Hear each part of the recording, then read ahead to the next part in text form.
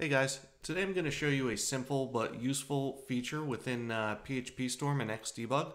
It's called set value and what it allows you to do is in the middle of executing your code it allows you to change the value of a variable or several variables and the purpose of this is to help you avoid having to go back and change your setup, whatever project you're working on sometimes, and I'm sure we've all had this kind of project where you've just run through a lot of lines of code and you just want to see what the output of your code would be using uh, different uh, arguments being input into the code. So this allows you to do so without even stopping the execution of your code or having to go back and actually change anything about your code. It's uh, super useful. So I'll, I'll dive right in and I'll show you what normally happens without setting the value, and then we'll go ahead and actually change the value.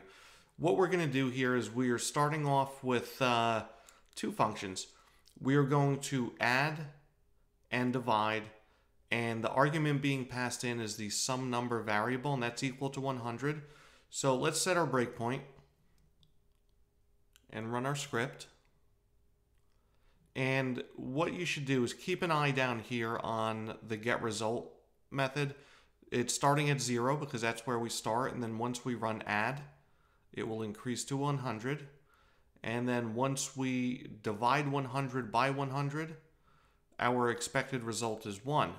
So let's say that now I wanted to add 100, but then for some reason I wanted to see what happens if we passed 50 into the divide function. So this is how we're going to do it. Let's run our script one more time and run the add function.